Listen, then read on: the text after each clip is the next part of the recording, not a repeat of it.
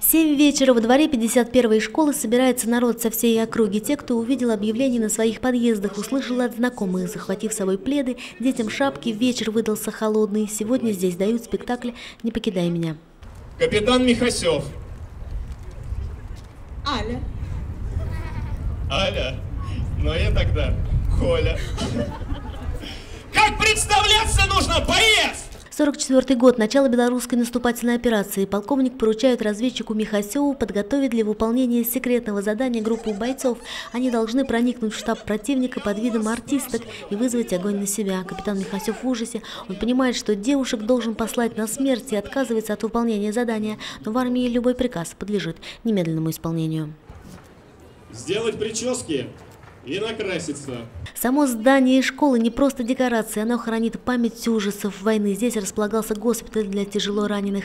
Свидетелей тех лет уже почти не осталось, даже родившиеся в сороковые уже старики. И так просто дают военные спектакли во дворе самой обычной школы. И просто люди приходят и понимают, о чем здесь танцуют. О любви и мечте, которые у них уже никогда не случится, потому что задание – умирать. Мой милый, если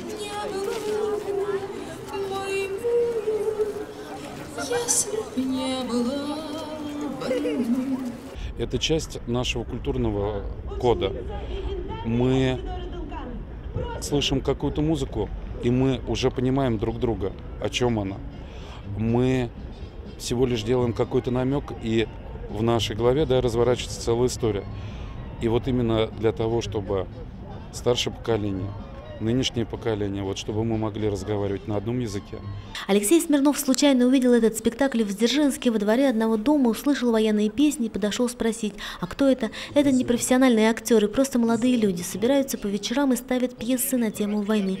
Что его нужно показать в своей 51-й школе в Нижнем, уже не сомневались, когда почти ровесники старшеклассников так честно играют то, что они никогда не видели и знают только из книг и рассказов прадедов. Но и школа это особенная, здесь к истории относится трепетно.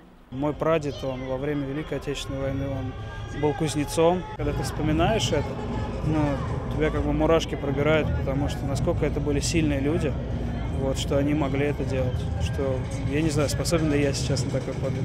Разведчики выполнили задание, из всей группы выжила только одна девушка. Надеюсь, людей тронуло это до глубины души, по той простой причине, что лично нас это во время репетиц- репетиции трогало не только до глубины души, но каждый раз пробивало на мурашки. Тронула до слез фронтовиков и тружеников тыла. Они сидят в первых рядах.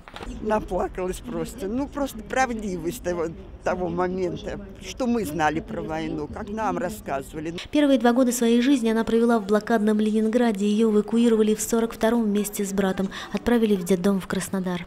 Вся мама там умерла, Да, что ли? Ну, наверное, я ничего не знаю о своих родителях, ничего. И никто не знает о них ничего. Потому что это было в Ленинграде. Старики разойдутся по домам, а к актерам трупы будут подходить и говорить, что не зря в этот холодный вечер пришли сюда. Ксения Доржнева, Ренат Бекбаев, объективно, ННТВ.